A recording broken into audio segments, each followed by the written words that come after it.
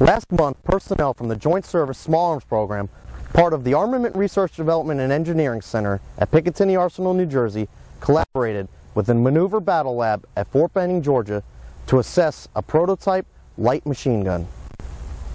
The light machine gun prototype is part of the Lightweight Small Arms Technologies program and is considerably lighter than the current machine gun, the M249 Squad Automatic Weapon, otherwise known as the SAW.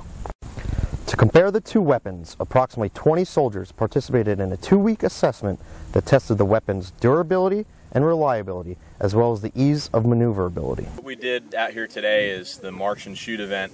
Uh, we had all soldiers conduct a six mile forced road march with weapon and full combat gear to include a 50 pound rucksack. Immediately upon arriving at the range and completing the road march, they moved directly to the firing line. They then engaged targets from various positions. Uh, 25 and 50 meter targets they engaged from the standing position, 100 and 200 meter targets they engaged from the kneeling position, and then targets out to six and 800 meters they engaged from the prone. Uh, the goal of this event was to physically fatigue the soldiers and then assess their ability to accurately engage targets after being fatigued. Half the soldiers started today with the LSAT, half started today with the SAW, and then uh, the day after tomorrow on Wednesday we'll have those groups switch so that we can then compare both their perceived level of exertion with one weapon versus the other and their scores on target. My name is Corporal Hammock. I'm out of Stewart Military Police, 139th Military Police Company, 385th Military Police Battalion. Uh, today we uh, ran with the LSAT and with the SAW. Um, both were pretty trying, but the SAW hands down is way heavier. It tolls on you a lot harder, um, go, especially going up a hill You feel the weight on you.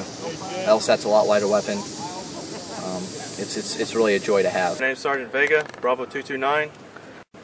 I'm out here testing the lightweight machine gun uh, against the uh, 249. It's real good, real accurate. Um, I got the first day we shot, real impressed. Uh, zero in the, the, rounds itself. It was uh, my first six round bursts were within a size of a quarter. Then uh, then I got three on top of one, so I was real impressed with that. As opposed to with the SAW, I have yet to get it within the size of a quarter, so it's real impressive accuracy. The night fire event was executed to validate the weapon's ability to be effectively employed during night operations in conjunction with the PEQ-15 laser, the primary sighting device used by Army soldiers for night fire. Being fully capable for night ops is critical since a large portion of our combat operations occur during times of limited visibility. SAW obviously heavier. It's going to throw you off your balance. It's a little more strenuous. The LSAT was not really hard to carry at all. Actually, instead of slinging it, I just carried it in my hands all the time just to get the weight off my shoulders. But I carried, I carried my hands the whole time, had no issues.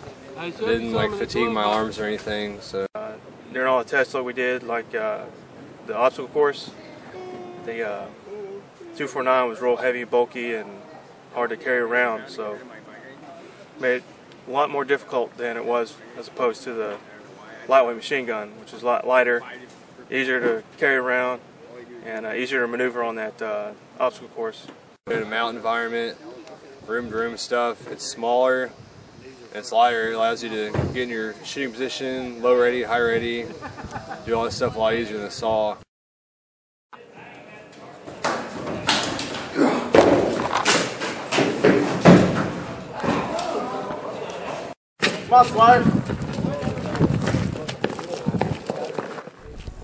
The Military Utility Assessment was a capstone event in the six-year program initially designed with one clear-cut goal in mind, to use technology to unburden the soldier by lightening the load.